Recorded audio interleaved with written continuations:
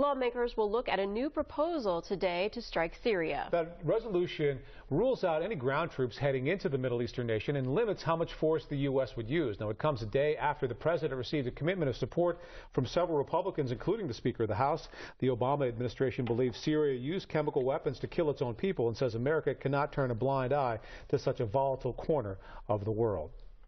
Many lawmakers remain skeptical, including some from our area. Democratic Congressman Matt Cartwright, who represents parts of northeastern PA, is among numerous lawmakers waiting to be convinced, despite weeks of shocking images coming out of the Syrian capital. Anyone who would rush into a, a plan to, to bomb a Middle Eastern country after what we've all been through in the last uh, 12, 13 years uh, hasn't been paying attention. We've been burned before uh, by this.